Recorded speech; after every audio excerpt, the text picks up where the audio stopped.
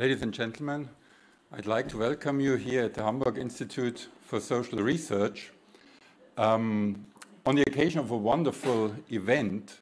Uh, the talk by Ori Schwarz tonight about power in the digital age, and I think a very important topic which we will listen to. But this event is an outcome of a conference on platform capitalism and its regulation. And the conference itself, which took place this morning and this afternoon and will take place tomorrow morning, this wonderful conference was based on a cooperation between the Max Planck Institute for International and Comparative International Law on the one side and the Hamburg Institute for Social Research on the other side. So it was a really delightful experience that these two institutions, very, very closely located on the different ends of the street Mittelweg, what, what they did and how they cooperated. So we are really proud that it took place. But as always, uh, this kind of cooperation not only uh, depended on institutions, on anonymous structures, it always depended and depends on persons, on real beings, human beings as well. And here in this context, I would like to mention Mateusz Grochowski, senior researcher at the Max Planck Institute on the one side, and Friederike Bahl, a member of the research group on the sociology of law at the Hamburg Institute for Social Research. Just let me mention two things. The topic of the conference, the relation of platform capitalism, fits quite well to the research agenda of the Hamburg Institute for Social Research. We have here in Hamburg at least two research groups which are dealing in some way with capitalism. The one on monetary sovereignty, which deals a lot with the problem of money in modern or postmodern societies. And the other one, uh, led by Tobias Eule, is the one on the sociology of law. And both research groups are working together.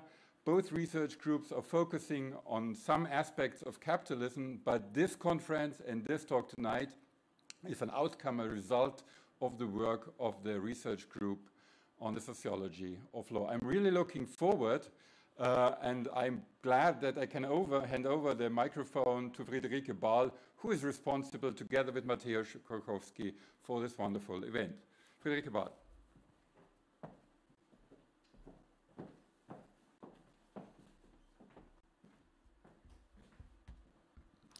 Yes, thank you very much, and also good evening, ladies and gentlemen, from me. I'm glad to welcome you all here today on behalf of the Hamburg Institute for Social Research and the Max Planck Institute for Comparative and International Private Law. And thank you all for this wonderful turnout this evening on this summery day. Um, but before we start, now it's time for the finishing touches to your hair because we are being live streamed today, and uh, there will be a chance to view this talk afterwards on our HIST YouTube channel. So today we would like to take a look at an ongoing transformation, and that is a digitalization of society. Some might argue that general processes of digitalization, such as the invention of telephone or personal computers, have started some decades ago. Yet, with the internet, things seems, seem to have changed.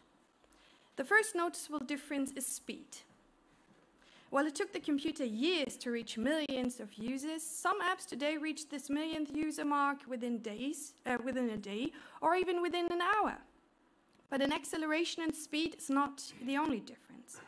With the internet, these processes might have also fundamentally changed in quality. Every day, we feed apps, devices, and platforms such as Instagram, Tinder, Google, or Amazon with information about our interests, purchases, habits, and friend lists. Where are we traveling for summer vacation? Which YouTube channels did we subscribe to? And whose Twitter messages did we like? And all of this includes information that for a long time would have, if not being held strictly private, then at least would have only reached a rather small, selected group of people. And now this information can not only reach audiences worldwide within a mouse click, this information is mostly given to private intermediaries who algorithmically document, track, and constantly reorganize and redirect our user data. And the way in which this algorithmic interaction is instated raises the question of power distribution. What is power in digital society? How does it work? And does it work differently than in an, in an analog world? And to find answers to these questions, I'm honored to welcome today Ori Schwarz to talk with us about theorizing power in digital society. And Ori Schwarz is a professor for sociology at the Bar Ilan University in Tel Aviv. And after receiving his PhD in sociology from the Hebrew University of Jerusalem and spending a year as a Fulbright postdoctoral fellow at Harvard University, he joined the Department of Sociology and Anthropology in 2013. And since 2019, he is also co-director of the Center for Cultural Sociology of the Bar Ilan University. And today we have the pleasure to discuss with him his wonderfully written book um, on sociological theory for digital society. I'm going to get it.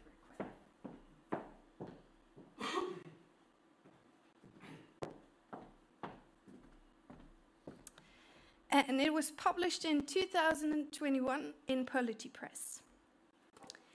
In it, he explores the challenges digitalization poses to existing sociological theory and its core concepts, such as interactions, networks, or labor. And the title of his lecture, Theorizing Power in Digital Society, already gives away two key aspects that have been characterizing his work to this day and that I appreciate very much. And the first is Ori is a defender of a general sociological theory.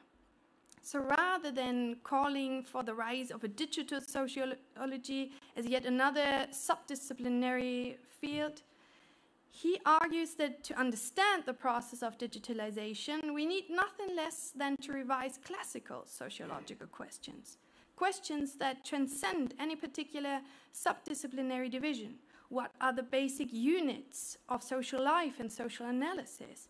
What motivates and shapes social action? What is agency? And what is power and how does it work? In answering these questions, Ori shows us that the introduction of digital technology and digital media does not simply offer just another slice of life or a new object for empirical research using the same old tools. The way that digital platforms and algorithms mediate and remold our ways of working, economic trading, and public decision making, it seems not far off to say that technologies change the face of society altogether. Therefore, digitalization calls less for a digital sociology than a general theory of digital society. And this applies to, for example, to the concept of power. What we can learn from Ori is that we should take the algorithmic nature of our daily interactions seriously, because it not only shifts our focus of, on power toward a privatized surveillance capitalism in the hands of a few companies, but it might also challenge one of the most influential aspects of the sociology of power, and that is the notion of legitimate power. Throughout the 20th century, the main question that haunted sociology of power was why are we still bounded when we are freer than ever?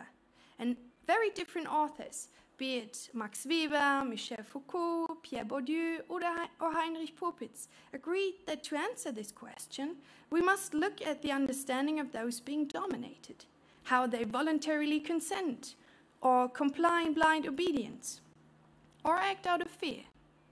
But what happens to this notion of free will when algorithms don't really rely on our compliance anymore because they pre filter, block, and pre organize without us necessarily being aware of that? With this refocusing of questions, there comes the second aspect that Ori offers us in his work, and that is that theory must be understood as a continuous practice of readjusting. While there might be something comforting in thinking about the theories that we come up with to describe the world as endlessly generalizable analytical frameworks that easily cross chronological boundaries, theorizing is a continuous process of re-evaluating, modifying, and reorganizing of concepts. Whether social scientists strive to capture capitalist dynamics, whether they try to describe the transformation of social protest, or to probe the communicative practices of digital life worlds. Every concept, be it power, resistance, or social action, is an abstract limitation that probes the world through selective glasses. It already shapes our perspective. Accordingly, theories do not simply change in the face of a counter-argument, at best they can be discarded. Theorizing therefore, theorizing therefore requires a willingness to revise the selectivity of our theoretical premises. Rather than being in search of any smallest common denominator, theorizing takes the form of a productive dispute that depends on our courage to come up with new hypotheses, and maybe even more courage to let them go when they're no longer valid. And this is a task one cannot take on alone, and this is why I'm so happy to have him here with us today. Please welcome Uri Schwarz.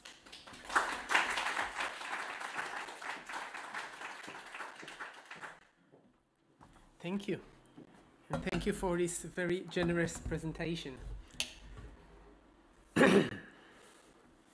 so,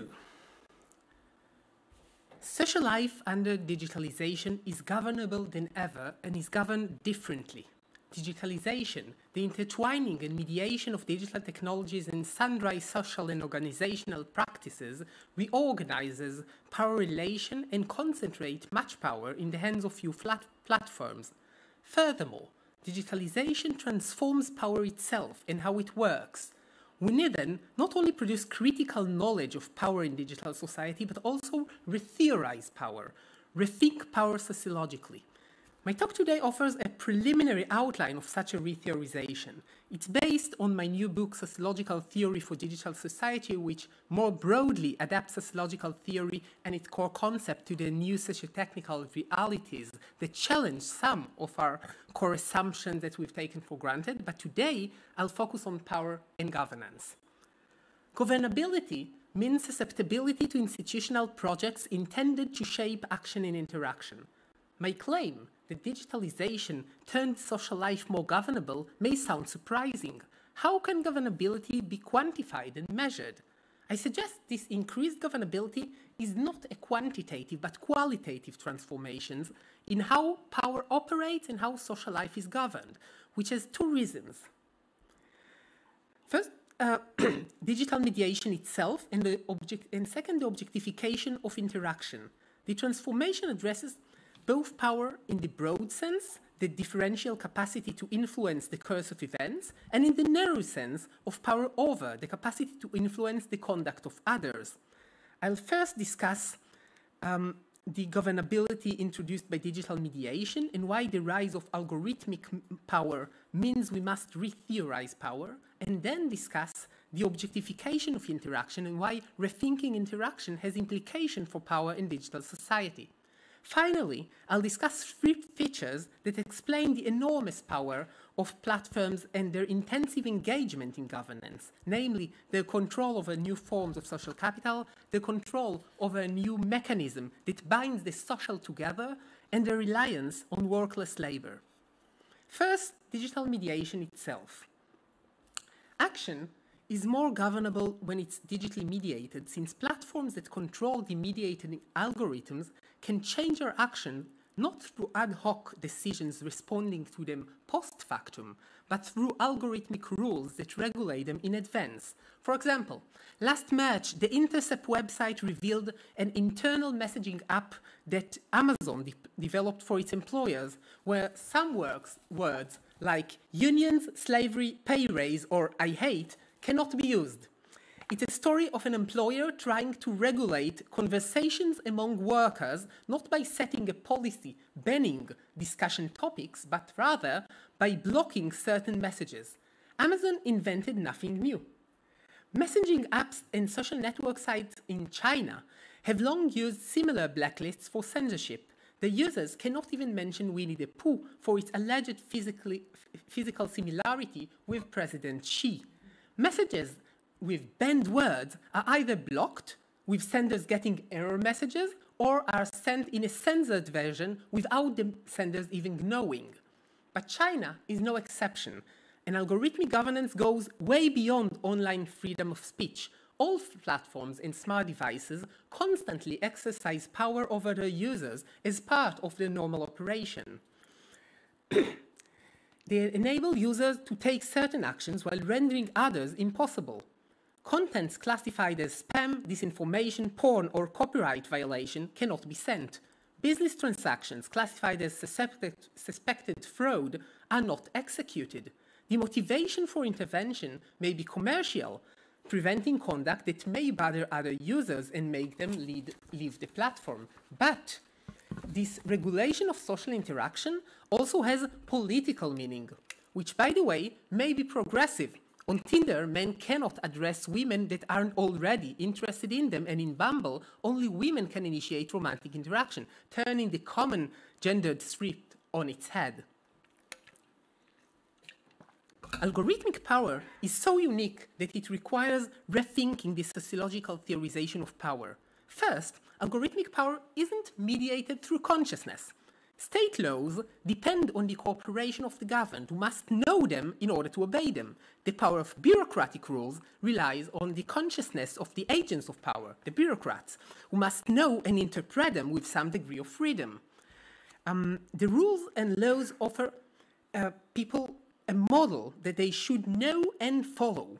Algorithms are also rules, but unlike laws and bureaucratic rules, and also unlike disciplinary power, seduction, or persuasion, their power is not mediated through consciousness. Algorithms are rules that work, generate reality, even when nobody knows them. Indeed, then they work best, the most efficient, since without knowing them, it's harder to manipulate or circumvent them. As Shoshana Zuboff suggested, when smart devices classifies use use, classifies us as uh, terms of use violators and disable themselves, they represent a technological alternative to the contract, which, unlike contracts, renders the consent, consciousness, and cooperation of users redundant. Algorithmic power plays ever bigger role in the governance of online platforms, regulating, regulating the flow of inter, interaction and information, in the operation of smart devices, cars, and apps, in decision making of businesses and financial organizations on loans, loans, pricing, employees hiring, and management, and increasingly even in state policy decisions like whom to give welfare, or in some countries, whom to arrest as a security threat. The fact that a modality of power not mediated by consciousness significantly influences life chances means we must transform the agenda of the theorization of power because the theorization of power in the 20th century organized around the problem of free will. Why are we bounded when we are freer than ever? Why reality fails to conform to the political ideal of equality?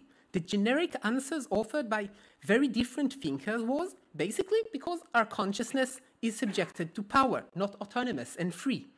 Marx's false consciousness, Gramsci's hegemony, Weber's legitimation, Bourdieu's symbolic violence, Lukes' agenda setting power, even Foucault's subjectification were all very different answers to the same problem. Social theory developed highly sophisticated constructs to understand manipulation on consciousness. Yet force, power that is not mediated by consciousness, did not enjoy similar theoretical attention. It wasn't denied, but it was viewed as trivial, obvious, not very important. After all, material force was viewed as constraining action but not positively, positively shaping it, and as inefficient because of the resistance it usually arouses. All this has changed. Algorithms exercise material power, which is far from trivial, highly effective, faces little resistance, and is dramatically influencing our lives. Even more, ever more life aspects are subjected to algorithmic rules that both constrain and enable action in a way comparable to physics, to the laws of nature, but that are at least partly human made. We must then shift the focus of the theorization of power, adapting it to this shifting sociological, socio-technical reality. Algorithmic power is unique in its capacity to bypass consciousness through self-enforcing rules Instead of banning porn, drunk driving, or financial fraud, machine learning systems try to identify and prevent them in advance. Scott Lash called it post hegemonic power. This may go too far. As I'll show uh, soon, consciousness and legitimation still matter, for example, in resistance to algorithmic power. Yet the operation of algorithmic power is not mediated by consciousness. Focusing on how power subjects and constrains consciousness was helpful for the critical sociology of the 20th century, but to understand and analyze power in the 21st century, we should shift the focus of our agenda to material power, how it operates, and how it can be resistant, resisted. The second big theoretical implication of algorithmic power is on the old debate on whether power exists before it's realized, whether we conceptualize power as potentiality or actuality. If you wish, uh, Weber versus Foucault. So Weber famously um, defined power as the differential probability to carry out one's will despite resistance. For Weber, this potential exists as a statistical probability that bef- even before it's realized. Weber was followed by most critical thinkers and sociologists, but opposed by thinkers like Foucault, Latour, Allen, and Hindess, who stressed that power is not a trivial realization of potentiality. Events are not predetermined by pre existing power relations or distribution of resources. In their alternative conceptualization they offered, power is an effect, not a thing someone may have like biscuits. It's both immanent, existing only once realized, once resources are successfully mobilized um, in interaction, and sorry, in particular, it has qualities rather than quantity, not power as an abstract capacity in waiting to realize abstract wills before they even emerge, but powers in the plural. This isn't merely a scholastic debate, it has consequences for our work, because only if power exists as a potential can we ask who has power and explore power inequalities. So philosophical debates at this level of abstraction are rarely settled by empirical cases, but this may be one of these exceptions, because algorithms are what Lash called generative rules, that is, virtual potentialities that generate an infinity of actuals. The realization is certain, not a probability. Hence, they close the gap between power as potentiality and its realization, the distance that power must traverse. When rules are self-enforcing and cannot be violated, the uncertainty gap between potentiality and actuality disappears. When the exercise of power is both certain and potential, it's much harder to categorically oppose the notion of power as potentiality. The probabilities to carry out one will or to obey others could only be observed in their realized manifestation, not in their potential state, making it reasonable to claim that they did not exist before their realization. But this changes once power is independent of consciousness and probability, once it operates mechanistically.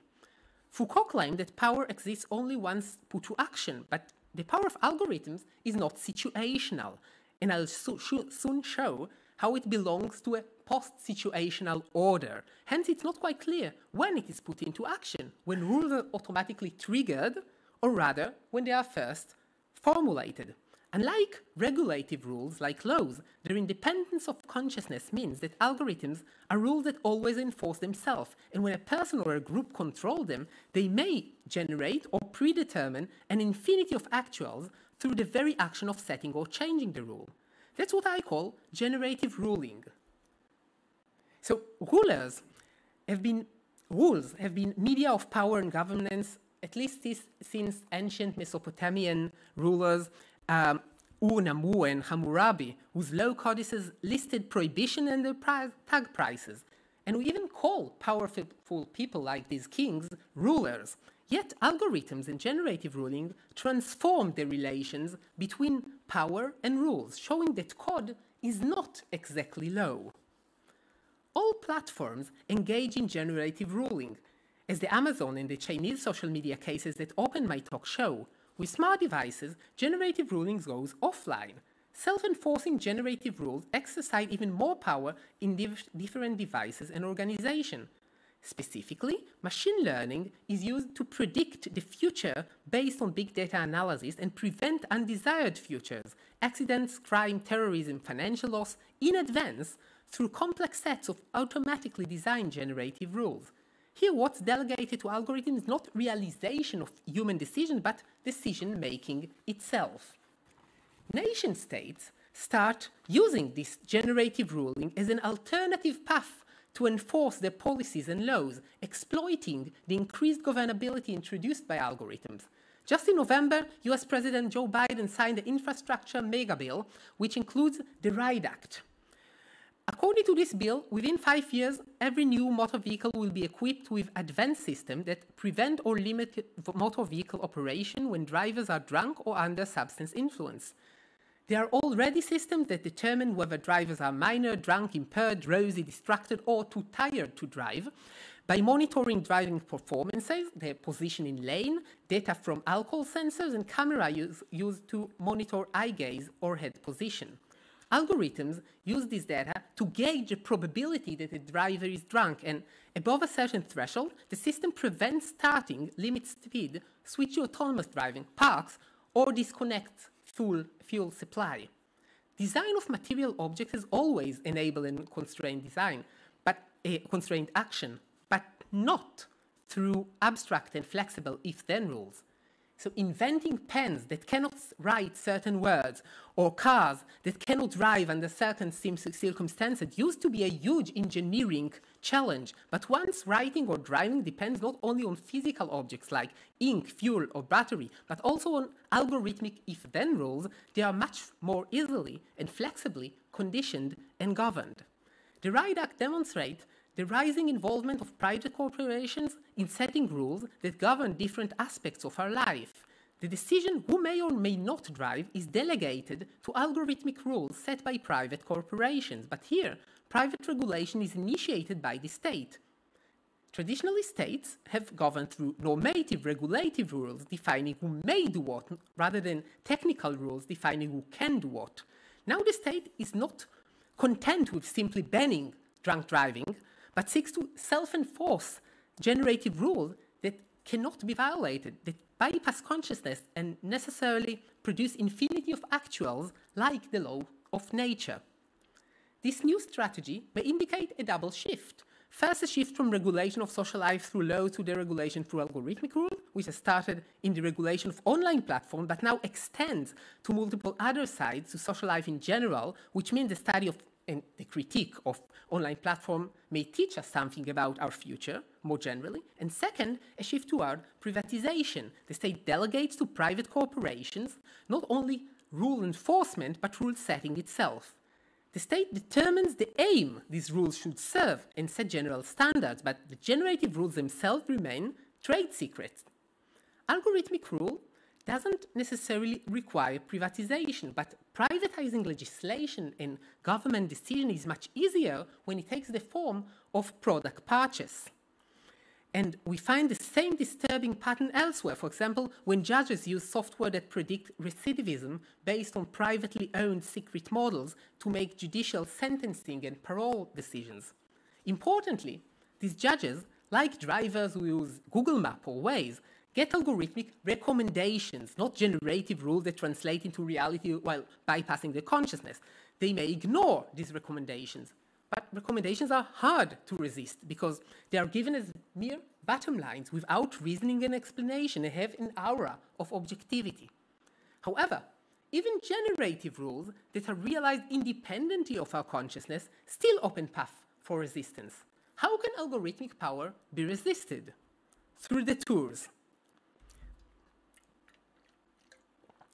The more people are governed by hidden algorithmic rules, the more they produce lay knowledge, more or less accurate, of these algorithms, reverse engineer them, or reconstruct them in order to manipulate or circumvent them.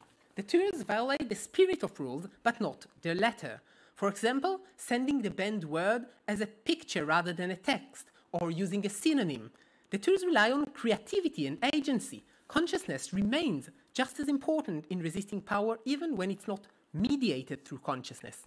Since algorithmic rules don't leave any space for human interpretation, they are very susceptible to resistance through detours. And this is one of the reasons why they are kept secret and unstable, contrary to our shared notion of justice, expecting legitimate rules to be standing and promulgated, as John Locke famously put it. Resistance through detours bears more similarity to solving engineering problems than to political resistance to human rules. And this is no coincidence. Algorithmic rules and um, indeed nomos, political, uh, artificial social rules that but they operate like physics, like the laws of nature, and blur this all distinction. They cannot be violated, but can be bypassed. Rethinking power also means then rethinking resistance. Some algorithms make collective resistance especially challenging because they take into consideration so many variables that they treat every person differently as a unique individual, not a class member. Hence, they avoid the leveling of the governed described by Weber and promote what Andreas Reckwitz called singularization. This is a fascinating paradox of algorithmic power. While it never deviates from the rules, like the ideal typical bureaucrat, um, being governed by equal rules no longer makes you anybody's equal. The relations between power and categorization also transform, making collective resistance harder. Importantly, the fact that generative rules cannot be violated doesn't guarantee they'll achieve their intended wider social goals. For example, theoretically, censorship may eventually weaken the Chinese regime and increase resistance. Generative rule is not omnipotent. It eliminates uncertainty about the possibility of action it technically blocks, not about its wider governance project. However, defining power in terms of the realization of project is necessarily self-contradictory and subjectivist because realizing one's ends in view, what we want to achieve now, often thwarts one's long-term projects. So we must recognize there is certainty about the exercise of power, about shaping the course of events here and now in a certain way.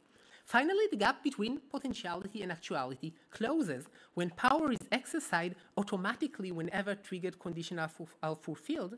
Power becomes also post-situational.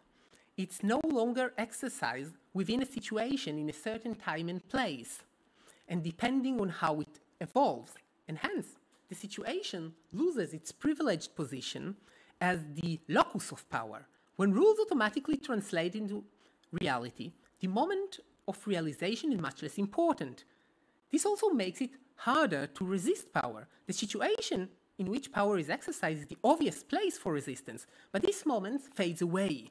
Phenomenologically, we don't experience most algorithmic decisions as events. The exercise of power becomes nearly invisible. Hidden rules are set and changed, and we only meet their consequences, the information algorithms chose to show us, and the material opportunities that they open to us. Tracing back algorithmic decisions to human agency that we can hold accountable is similarly difficult. In the book, I show that more generally, we move into a post situational order Situations are no longer the basic building blocks of social life, since interaction is mediated and objectified. This is the second reason digitalization introduces increased governability. The first one was that social life is increasingly subjected to generative rules as platforms and smart devices determine what can and can't be done in ever more spheres, regulating relations between potential spouses, consumers and sellers and service providers, taxi drivers and passengers, tourists and hosts, teachers and students, political activists, family and friends. But digital social life is more governable not only when it's subjected to algorithmic governance that prevents undesired contact, but also when it's governed in more traditional ways, like retrospective punishment for rule violations. This is because in digital society, action and interaction are self-documenting. Digital activity lives behind logs, our cellular location history, credit card purchases, um, websites that we visited, the files that we opened are all documented as database entries. This datafication gained much attention. It, it obviously increases knowability, governability, and surveillance. But digital interaction is also self-documented in another and more overt sense. Whenever more mundane interactions move to platforms like social network sites and instant messaging, they are automatically objectified as durable objects. Posts, likes, messages, videos, audio recordings. This transformation, which I call the interaction object duality, is a real revolution. Interactions and objects used to be completely different things. Interactions used to be flow of performances, actions and counteractions that exist only while going out of existence, remaining only in our subjective memory, not objectively. digital mediation turned interaction into the collective production of durable data objects, which are made of binary code and hence can be easily copied and distributed, thus changing the dynamics and temporality of interactions, and importantly for us, changing power relations. The objectification of interaction transforms power relations in two ways. First, it increases governability and is at least partly responsible for platforms' intensive engagement in governance. When every action or statement keeps existing as an object, they produce evidence that can be easily interpreted as rule violation that should be punished. When Facebook allows users to report rule violation, it soon faced more than a million complaints a day as users translate personal and political disputes into quasi-legal ones, demanding that Facebook looks closely into the objectifying mundane conduct of their interaction partners, when interaction keeps existing in this objectified form, it's also much easier to criticize platforms for failure to enforce rules. Secondly, objectification means power relations are less bounded within situation, as interactions as interaction objects may be exposed to ever new audiences to which parties may be held accountable. Objectification means we must rethink interactions since our interactions turn into objects and then they are no longer situated, no longer bounded in time, place, and the number and identity of participants. And this is consequential. Symbolic interactionism, one of the main traditions in sociology, assumed that interaction interactions are situated, taking place within a known set of actors who monitor one another. And hence, they can negotiate the definition of situation and the roles within it. Situatedness allowed negotiation within interaction to create new realities rather than simply mirror the wider patterns and the wider power relations in society. Um, but interaction is no longer situated when it takes place in instant messages that can be forwarded to third parties, when popular apps automatically record all phone calls, and especially when interaction takes place in social network sites, where algorithms determine, based on network maps and post engagement measures, to whom it should be presented, recalculating the set of interaction participants each, each moment anew and the interaction as it evolves sometimes you know unpredictably change the set unpredictably change from a few friends to thousands of strangers this is extremely different from uh, the stable situation bounded within walls that characterized what Goffman called the world in society.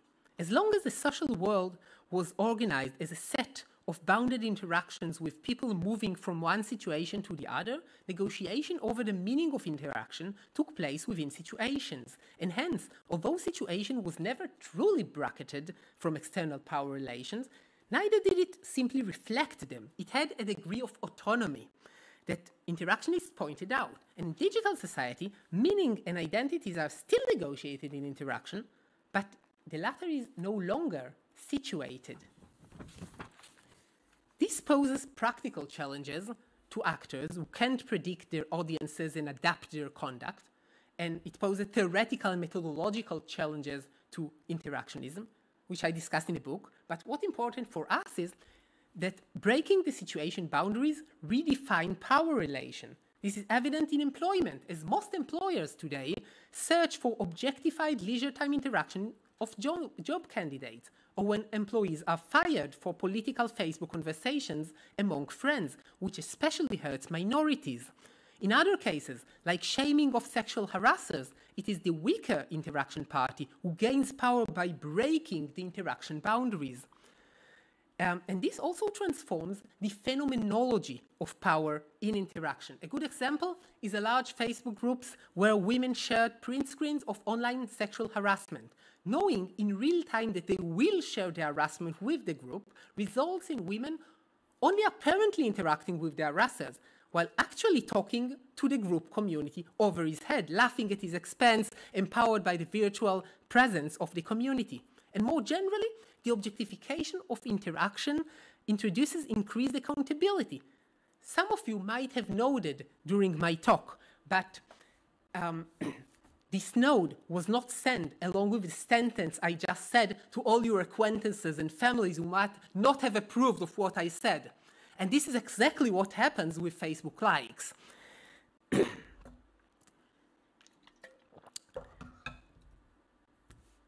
so uh, it trivially uh, makes us much more accountable to unpredictable audiences.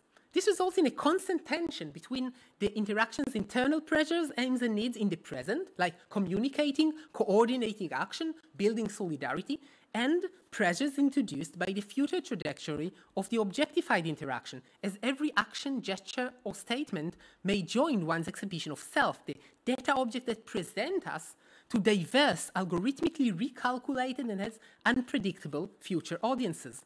The shift into a post situational world, not organized as a sequence of bounded situations, indeed, we often participate in multiple unbounded interactions simultaneously, transforms power relations between actors and also grants platforms great power, as situatedness is conditioned upon their code and interface design, which they may always change.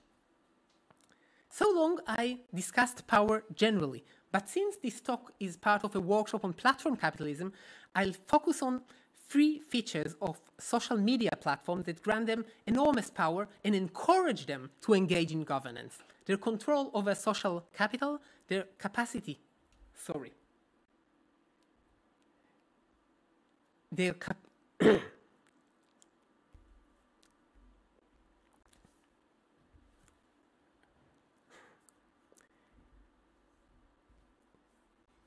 sorry. Um, their control over social capital, their uh, capacity to offer a new glue for social life, and their reliance on workless labor. We shouldn't forget that platforms exercise power not only through generative rules. For example, large part of content moderating still conducted by humans with decisions regulate social relations. Users have little say about how they are governed because platforms are for-profit commercial enterprises and because state laws allow them to regulate social relations between users to maximize profit while disregarding democratic values and the wider interests of their users. As a growing part of the political and social interaction is mediated by digital platforms, this is a problem. And the 40 year old critique of the emergent sovereignty of mass private properties like malls that replace the public town squares and subject. Um, sorry?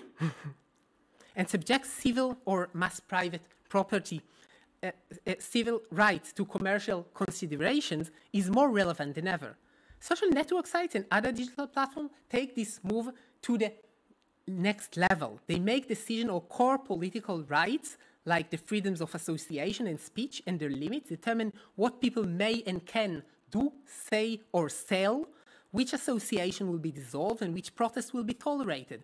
When big platforms turn into monopolies and when avoiding them involves significant cost, even reducing employability, the political claim that users should be democratically co-determining the platform rules that govern them may be obvious, but as a sociologist, I wish not only to point at this uh, democratic deficit and the critique of the private ownership and identify the mechanisms that explain why social media platforms wield so much power and why they are so much interested in governance. These mechanisms rely on such technical transformation in digital society they have theoretical implication, and the first of which is the objectification of social, of social capital. Right. So, social capital is a sociological concept pointing to the fact that social ties are resources. They grant people some access to resources of other people that they know. So, tie structure and inform inequality.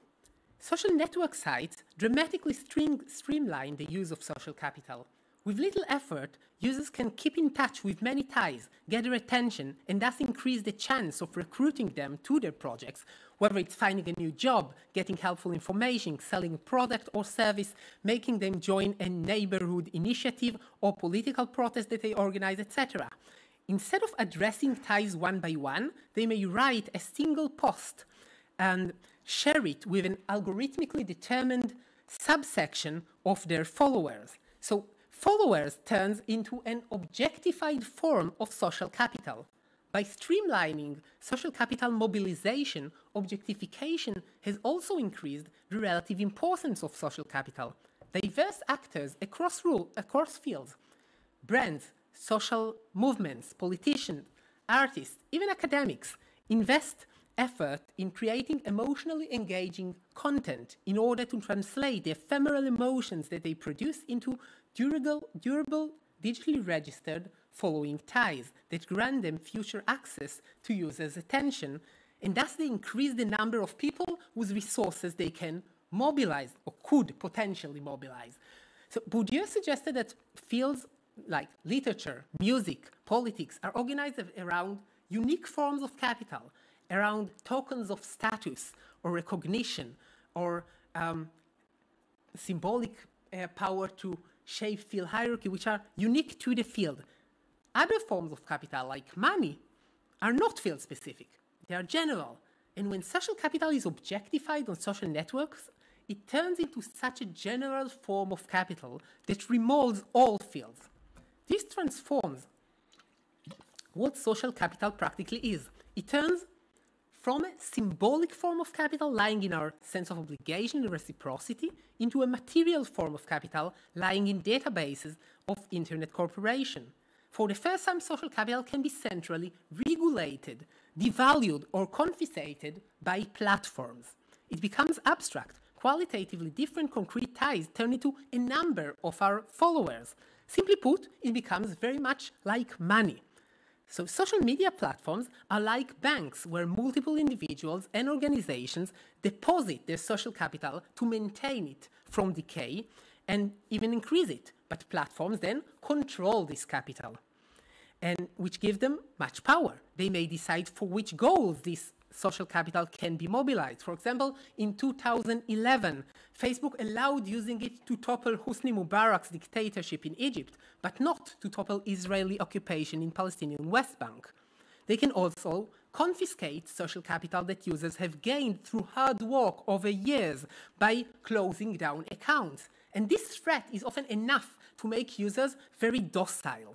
So platforms' power relies partly on their control over digital mediation and generative ruling, and partly on their control over objectified social capital. But there's more. Platforms also have power since they offer a new glue for social life, a new answer for the very basic, fundamental question what binds people into something bigger that can't be understood at the level of individuals? What binds the action consciousness and mental states of different people into wider moves or phenomena? So Randall Collins, building on Durkheim, suggested that solidarity emerges when different people focus their attention on the same object at the same time, and then they start feeling solidarity with one another. They develop feeling for one another. And social media platforms make a very similar thing. They um, allocate users' attention and focus the attention of different users on the same objects at the same time with similar effects. This is a main path through which platforms influence culture in general and contentious politics in particular. After all, collectives are more powerful than their parts. Yet, what they produce is not exactly stable collectives. To understand what it is, we must look closer at the operation of social network sites. These platforms allocate attention based on maps of ties, both formal following ties and interaction patterns that are constantly monitored and analyzed to calculate the strength of each tie. The assumption that these ties have predictive power is borrowed from the sociological branch of social network analysis. So, websites like Facebook are often viewed as simply uncovering a social network structure that predated them, but they aren't. Unlike the tie maps that were drawn by sociologists, these digital maps are ontological rather than epistemological. They aren't metaphorical networks, models of or representation of the society, but they are concrete networks, key components in algorithmic governance dispositives that govern society regulating flows of interaction and information and attempts of actors to recruit one another to projects, and shaping knowledge and power relations based on digital maps of ties. These objectified networked networks transform the social relations that, represent, that they represent, and this effect is not mediated by the consciousness of the actors, but by back-end algorithms. What this process produces is quasi-collectives that are social power, that have social power, as demonstrated by public protest organized on social media, but unlike collectives, they aren't stable, constantly recalculated, with no binary membership where you're either in or out. And I wish to call them connectives, following the use of this term by social movement scholars Bennett and Segerberg and memory scholar uh, Andrew Hoskins. So social movement scholars identified a new type of protest that organizes online without formal organization, um, clear collective identity or leadership or shared demands, and instead they have vague messages um, disseminated mimetically when every user changes and personalizes it a bit, and they resemble collective action, but practically without the collective. So they called it connective action. Like brush fires, these protests are quick to flare, intense, and quick to fade. And at the same time, memory scholars show that memory also takes a new form in digital society, that we increasingly recall our personal past through documentation created by other people around us, and recall our collective past through network memory of co-citizens. So this connective memory is neither private, it's created by multiple individuals and accessible to them, but nor is it collective. It doesn't belong to any bounded collectivity. No two people have access to the same networked memory. Understanding this change requires rethinking social networks.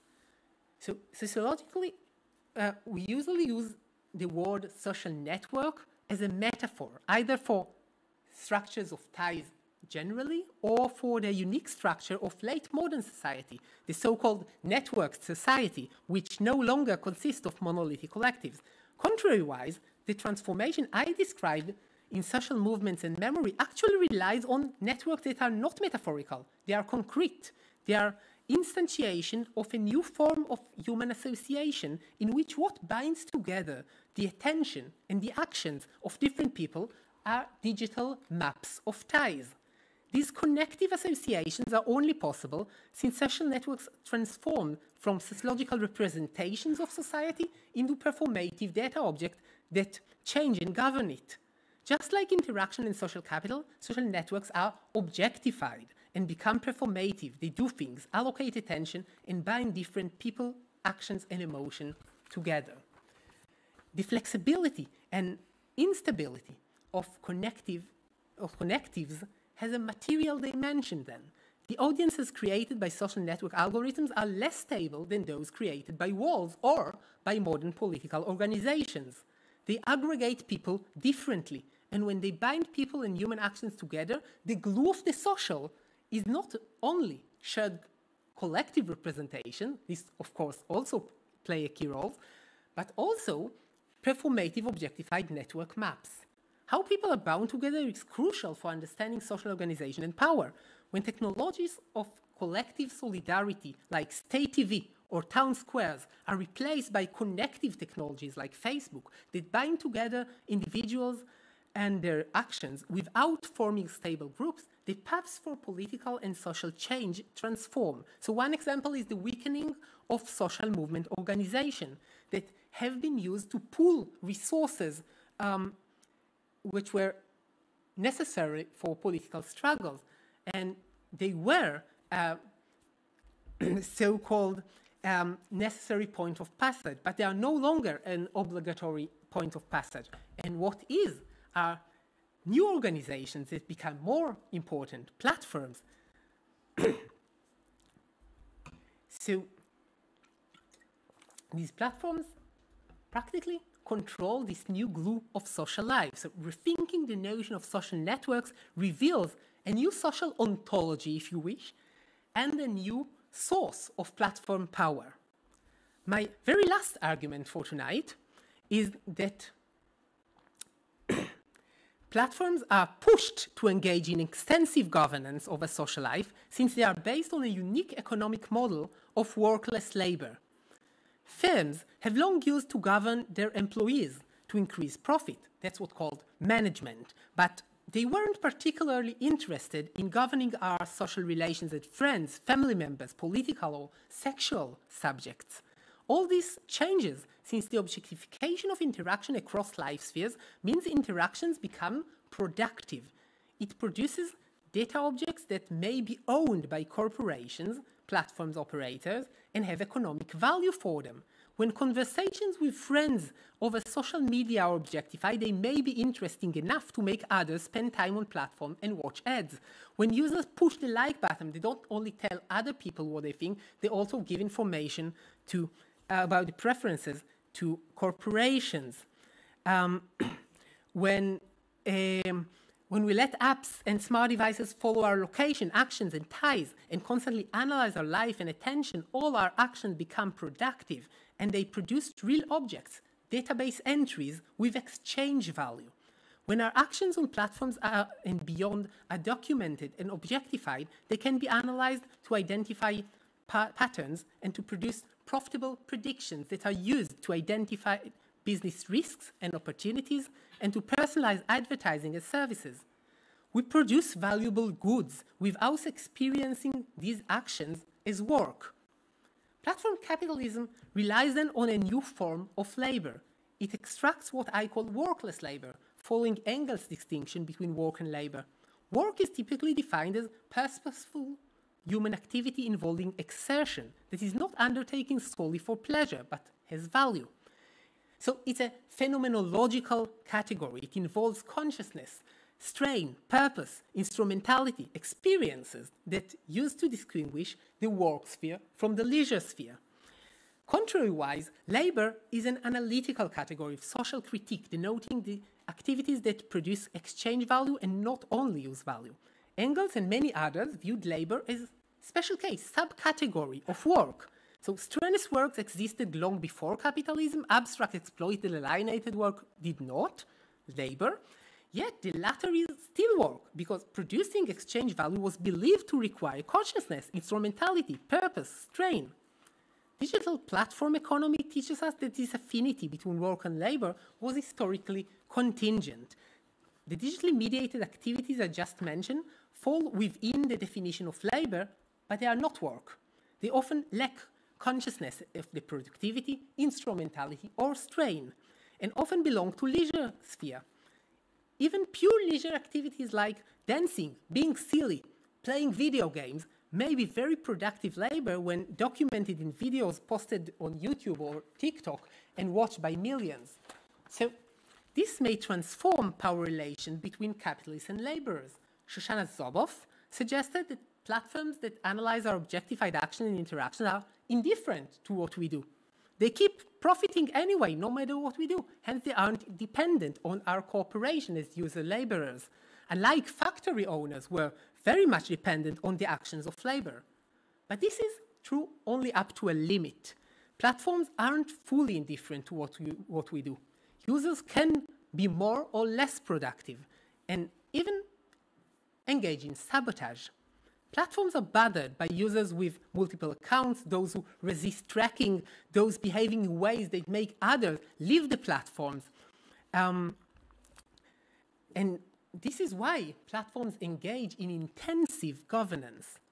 While management is nothing new, digital corporations are unique in exploiting the workless labor of billions of users. And once our social, romantic, family, playful, and political interactions become labor, a source of profit, platforms have an interest in governing nearly all our life aspects to maximize profits. And they can do so as they mediate social life. Platforms face unprecedented volume of governance work due to the combined effect of their economic interest in biopolitical governance over user population to maximize profit and the objectification of, inter of interaction, which introduces increased governability, accountability, and demand from states, from individuals, from organizations that platforms should govern, that they should govern the interaction that they mediate. And consequently, they develop complex governance dispositive that combine generative rules that play an increasingly larger role, traditional regulative rule, peer policing by users who report one another for violating the latter, and proletarianized judgment by badly paid content moderator, sometimes from third world countries. Moderators must make decisions within seconds without giving reasonings and without hearing argument or learning about the context, based only on the contested, objectified interaction alone, in order to keep to minimum the cost of dealing with this unprecedented volume of quasi judicial labor. Making judicial decisions, historically the work of rulers and later high status professionals, turned into a dirty job, which is constantly in tension with our sense of justice, which was designed in an utterly different social technical environment when judgment was small scale and high cost, intensive rather than extensive. So I'll conclude. My talk discussed several social changes in digital society the rise of generative ruling through self enforcing rules, the objectification of interaction networks and social capital, the shifts toward post situational sociality, the rise of connectivity, in which time maps and algorithms allow platforms to offer new mechanisms that bind the social together, and the productivization of leisure in interaction as workless labor. These transformations have far reaching implications on social life and social theory in general. Today are only focused on their implications on power relations between individuals, for example, on the capacity of individuals to bracket power relations within interaction, within situations, and on the extreme concentration of power in the hands of few platforms. I show how these transformations increase the governability of social life and the demand for governance, and I also discussed the uniqueness of algorithmic power, how it redefines what ruling means, and the relation between power and rules, and how it can be resisted. Finally, I called for a new agenda for the sociology of power in the 21st century, one which takes into account both the material dimension of power and its intertwining in new forms of capitalism in order to shift critical social research from the challenges of the former century to those of our own. Because when power transforms, our knowledge and critique must follow. Thank you.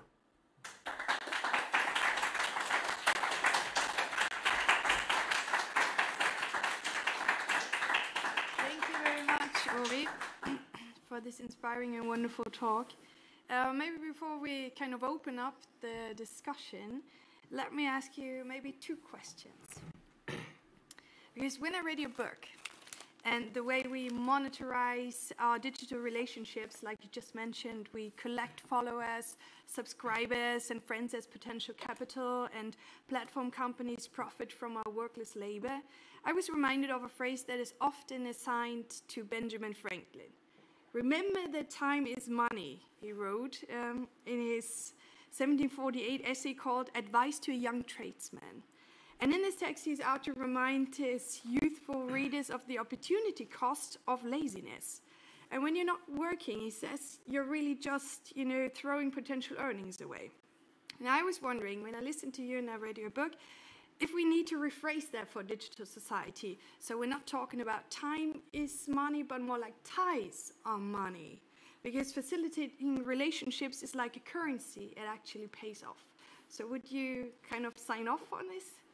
Well, first, I completely agree uh, in, to what you hinted, namely that we can see this shift I just described as another chain, another um, part in, in a long chain of rationalization. And indeed, this rationalization in this case is not about time, but about activity in general, about sociality more particularly. So, yes, um, social ties are experienced instru- instrumentally and are accumulated. In a sense, we all always did this, but the objectification transformed the way we experience it. So it, it, transformed the way we subjectively relate to it. Because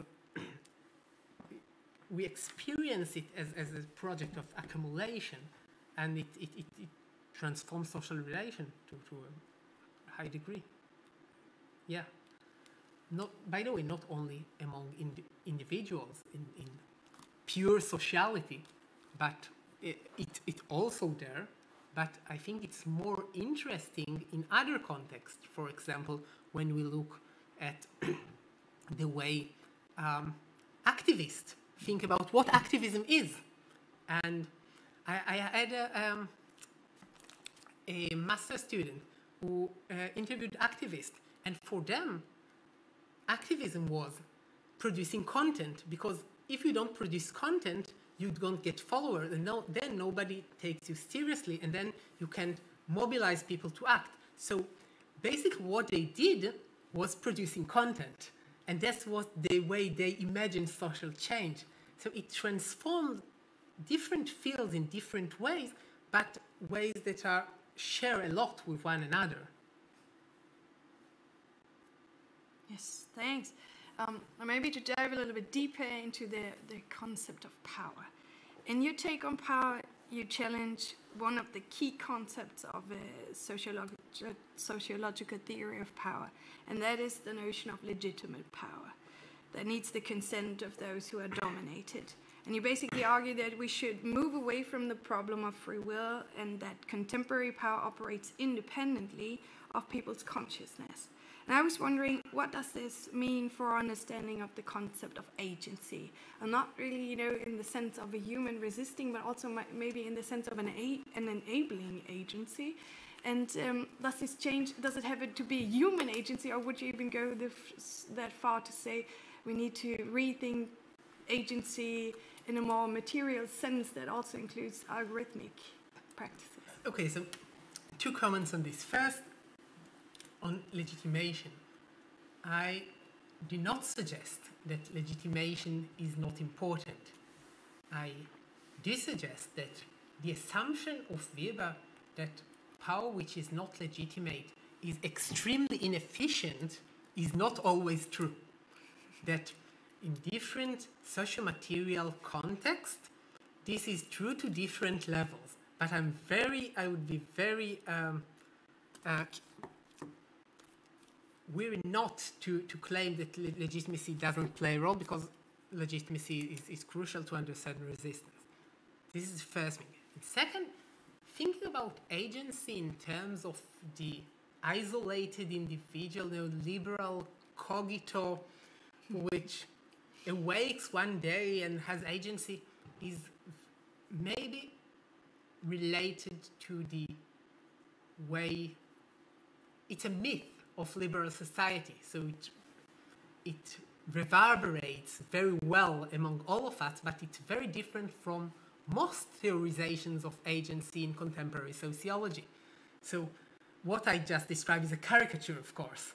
And in this sense, you don't need me to claim that agency is not this thing, that agency is always a, a collective uh, achievement that is also always have a material dimension and of course what, what I presented uh, strengthened this, this position but I don't think you, you need me to, to say it I, I think it's very much uh, shared knowledge Thanks. So I'm going to open up the floor and uh, for questions and comments, and you can also write online, and I'm going to keep an eye on the chat. So feel free. Yes. There's going to be a microphone handed to you. Um, okay. Uh, thank you very much for your uh, really inspiring talk. I would like um, to challenge you a little bit in your, in your definition of uh, algorithmic power and governance. Where does it start and where does it uh, does it end? Uh, you you you mentioned you give some very um, um, convincing examples, but let me give you a counter example, and I'm going to ask you if, if, if this is already falls into this category. Um, um, if I replace a, a, a door a key with which I can open the door manually, analogically by a, a key code, for example, um, um, a digital key, so to say, which uh, algorithmically com compares the numbers I enter with the um, with the stored numbers. Is that already an, example of uh, algorithmic governance and power exerted on me, or would you um, would you exclude that? And, and, could you please elaborate a little bit more of when when it really um, this really applies this powerful concept? Thank you. So, as I said, material design has always enabled and constrained action, and you don't need digitalization to do this. But you had to solve each problem in you, because um, you know you have to develop solution to each governance project, and it was an eng engineering challenge. What transforms is the potential to change reality by simply changing an if-then rule. So your capacity to generate multiple futures, multiple realities very easily. This uh, flexibility of governance is what's new. I, I hope it answered your question. Yeah. So it's more the automatization uh, of, um, of a principle which um, before had to be done by hand. Sorry for. It's more than this. It's the potential to create uh, infinity of futures by simply changing the rules. It's the transformation of the relations between abstract rules and concrete realities. And while um, physical objects, unlike digital objects, um, often enable and constrain a very limited number of futures uh, users, um, this number becomes unlimited in a sense. So I understand. Thank you.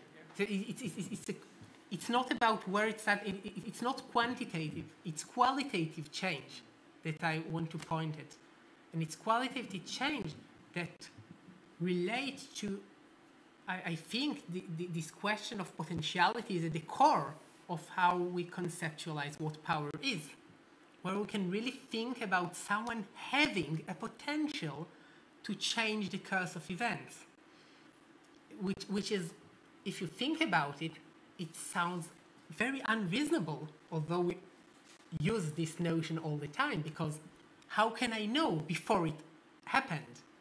And I think knowing that you can know is a very big difference. There's a question from Tarzowski. Hi, thank you. So I have uh, uh, two questions. I guess you addressed them in the book. The first is a follow-up. I was wondering if you could give us a definition of algorithm, because throughout your presentation I saw you went in a few directions. And second, regarding power, I'm not well versed in the literature here, but I was wondering in the movement to the digitation, are you saying that there's overall more power, or is always power a zero-sum game? And if so, um, how is the power now distributed?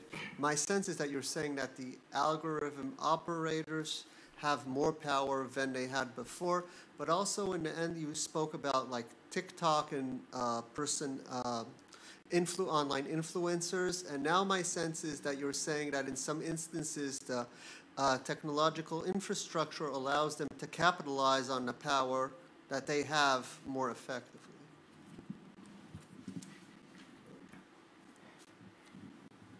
So, to start with the second question, I suggest that digitalization transforms both power relations between users and the power relation between users and platforms. Um, it, so, of course, it, it um, creates a kind of game and define the rules of the game. In this game, you have winners and losers. But by being able to shift the rules of the game and by being able to, um, for example, to, to, confiscate the um, social capital accumulated on the platforms or to devalue it, to say, no, today's your, if you have 10,000 followers, only 100 of them will see your post if you don't pay me. So being able to do so, to close the, the account, allows them to um, to control these power relations, to, to regulate these social games in a sense. So they're, they're not players, they are regulators. They have different status in this in the system. And remind me what, what it was? So no, it I smile because they are the very um, familiar um, definition of, of uh, algorithms as recipe or a set of, uh, of rules, uh, of abstract rules. And of course it's helpful, but, and here I say nothing original, uh, in, in the social sciences, when we talk about algorithms, we do it um, more liberally in the sense that we talk, when we say algorithms, we actually use algorithmic dispositives. We actually use systems based on algorithms. So I could have been more accurate by talking more time, which I avoided. And it's correct that you pointed at this point. Kate? This is this was tremendous. Thank you so much for this. I just ordered the book, um, and I'm excited to. Uh, sorry, I mean, I just, I mean, I have not like I don't, you know, this has just been wonderful. Um, but uh, and I'm looking forward to reading everything you have to say. Um, but a lot of what you were talking about today seemed incredibly valuable in the descriptive work that you've done in this space and how you have explained and increased the level of abstraction about all of these notions and so that we can have a more productive conversation about them. Um, so thank you. But I'm curious if you have normative takeaways, normative takeaways from all of this. Like what, I mean, and I'm always the one getting this question, so I'm giving it back to you.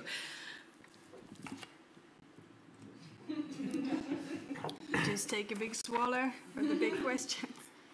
I think my normative position was very clear. I, and, and I can state it even more clearly. I wanted to, uh, to discuss mechanisms because I think it's very easy to take the position of the uh, of you know, critique that only point at what's wrong and on, the, on it's only normative without actually understanding how we got to where we got to. But uh, normatively, I think that uh,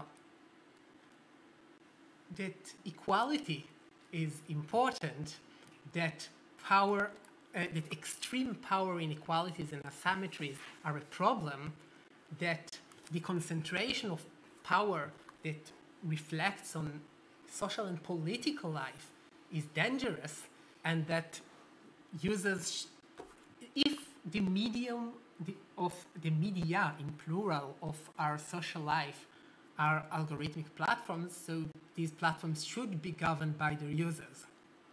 Um, this is my normative stance, to make it clear. There's another question here in the front from the gentleman, and I maybe already got the greatest response. To, I ordered the book just now. You know, can't get better than this. Uh, yeah, thanks for the talk. It was really interesting. Um, I was wondering, do you differentiate between like the differences between um, you know these kind of if-then kind of algorithms, um, and then the ones that are based on machine learning? Because you know, mm. if-then kinds of al algorithms, it's much easier just to change the logic, and it's made much more transparent. But with machine learning, these uh, layers of uh, neuron networks and things, um, it's not really possible just to intervene and to say, because, because nobody can look at a, neu a neural network and say, this causes this, so I'm just going to change this little node within the network. Um, how do you differentiate between the two? So in principles, you're perfectly right. And when I said that keeping rules secret and changing to avoid resistance is one reason, the other reason is, of course, that they are often too complicated to present to users. But in reality, these models are very rarely exist in their you know, pure forms. So in most systems that we know, um, they are uh, comprised of both um, if-then rules uh, formulated by engineers who know what they are doing, but, and, and by machine learning, even when they are, it's mostly machine learning, people tweak with them and people try to um, explore their uh, people, I mean, people work in these corporations, the effects of different tweaks. So it's not that they are completely um, without influence over, over, over the, the result and being able, being having the potential power to tweak, to change, to play with these with these uh, with these systems gives them power. But you are completely right these are different models in a sense. Thank you. So, are there any other questions or comments? If not, then I would like to say thank you so much for this talk and discussion uh, this evening. It was wonderful, and I really enjoyed reading your book and having you here. And then I'd say um, to everyone, have a nice evening. Nice that you were here. See you next time, and uh, bye bye. Thank you for having me.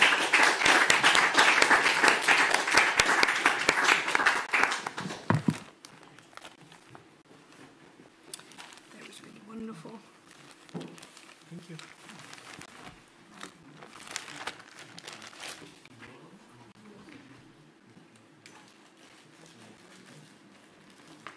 Now we're gonna go downstairs and eat something. Yeah, I really, really enjoyed reading your book. It was really,